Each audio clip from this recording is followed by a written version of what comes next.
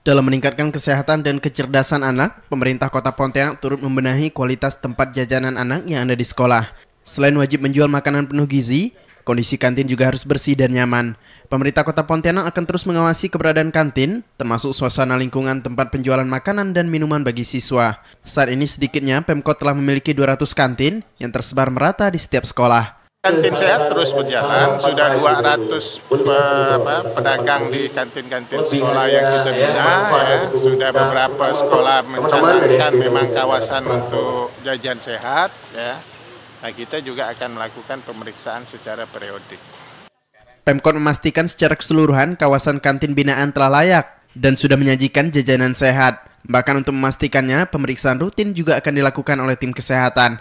Jika ditemukan ada pengelola yang kedapatan menjual sajian di luar ketentuan, maka pemerintah kota tak akan segan memberikan sanksi tegas. Dian Setiawan, Kompas TV Pontianak.